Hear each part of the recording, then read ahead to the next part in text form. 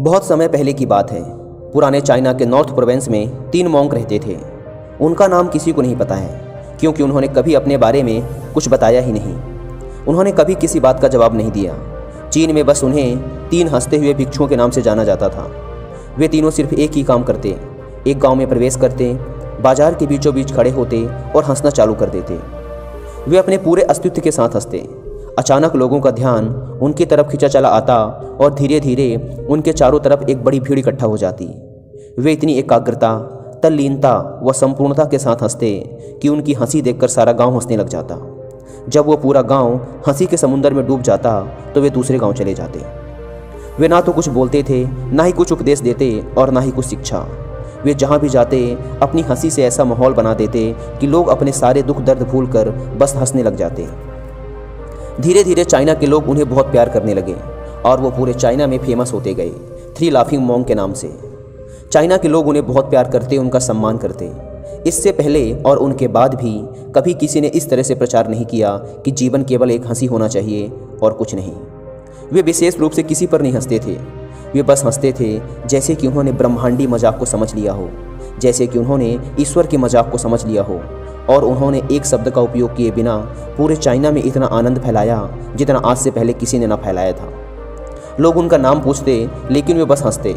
तो यह उनका नाम बन गया तीन हँसते हुए भिक्षु, थ्री लाफिंग मॉन्ग्स। पूरे चाइना में घूम घूम कर लोगों को हंसाते हुए समय के साथ वे तीनों बूढ़े हो गए। और एक रात जब वे एक गाँव में ठहरे हुए थे, उन तीनों में से एक भिक्षु की मौत हो गई। पूरा गाँव स्तब्ध रह गया। पूरा गाँव बहुत ज़्यादा उम्मीद कर रहा था, क्योंकि उन्हें लगता था कि जब उनमें से एक की मृत्यु हो गई होगी तो बाकी जो दो ज़रूर रोएँगे। यह देखने लायक होगा, क्योंकि किसी ने भी कभी इन लोगों को रोते हुए नहीं देखा था। जब सुबह हुई तो पूरा गाँव इकट्ठा हुआ, लेकिन दोनों भिक्षु तीसरे की लाश के पास खड़े ज़ोर ज़ोर से हंस रहे थे। ऐसी हँसी, जैसी उन्होंने आज से पहले कभी ना हँसी हो।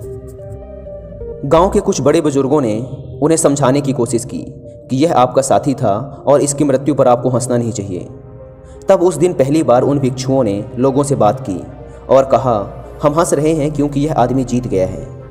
हम हमेशा सोचते थे कि पहले कौन मरेगा, लेकिन इस आदमी ने पहले मरकर हमें हरा दिया। हम अपनी हार व इसकी जीत पर हंस रहे हैं। इसके अलावा यह कई वर्षों तक हमारे साथ रहा। हम एक साथ हंसे, हमने एक दूसरे की मौजूदगी, उपस्थिति का आनंद लिया। उसे अंतिम विदा देने का इससे बेहतर तरीका और क्या हो सकता है? हम केवल हंस सकते हैं। लेकिन पूरा गाँव उदास था। जब मृत भिक्षु के शरीर को अंतिम संस्कार के लिए चिता पर लिटाया गया तो सारे गाँव वालों को एहसास हुआ कि शेष दो भिक्षु केवल मज़ाक नहीं कर रहे थे। वह तीसरा जो मृत था, वह भी हंस रहा था। चीन में यह प्रथा थी कि जब एक इंसान की मृत्यु हो जाती थी तो उसके पुराने कपड़े उतार कर उसे नहला धुलाकर उसे नए कपड़े पहना दिए जाते थे। लेकिन मरने से पहले उस भिक्षु ने अपने साथियों से अपने कपड़े ना बदलने के लिए कहा था। तीसरे भिक्षु ने कहा था मुझे स्नान मत करवाना, क्योंकि मैं कभी अशुद्ध हुआ ही नहीं। मेरे जीवन में इतनी हँसी आई कि कोई अशुद्धता जमा ही नहीं हो सकती थी। मैंने कोई धूल जमा नहीं की है। हँसी हमेशा युवा और ताज़ा होती है, इसलिए मुझे नहलाकर मेरे कपड़े मत बदलना। जब उस तीसरे भिक्षु के शरीर पे आग लगाई गई तो गाँव वालों को पता चला कि उस भिक्षु ने मरने से पहले अपने कपड़ों में कुछ पुराने चीनी पटाखों को छिपा रखा था, जो आग लगने के बाद फटकर आसमान में रंग बिरंगे कलरों में फैल गए। और यह देखकर एक बार पूरा गाँव ज़ोर ज़ोर से हंसने लगा। तो इस तरह से वह तीसरा मोंक मरने के बाद भी सारे गाँव वालों को हंसा गया। और यह देखकर शेष दोनों भिक्षुओं ने कहा, चालाक आदमी, तुम मर चुके हो, लेकिन तुमने हमें एक बार फिर हरा दिया। तुम्हारे द्वारा गाँव वालों के चेहरों पर पैदा की गई यह हँसी आखिरी हँसी थी।